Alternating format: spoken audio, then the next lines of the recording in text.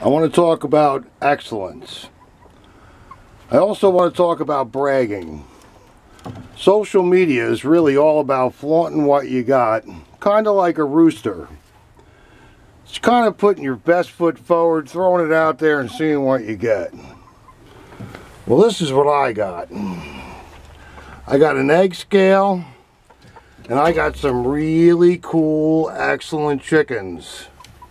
This, my friends, is the average egg of a chicken. Usually a medium. Sometimes it could be even a large. But my chickens, my chickens, my friends, off the scale. Literally super, super duper extra large. That's damn right. That's right real clucking good.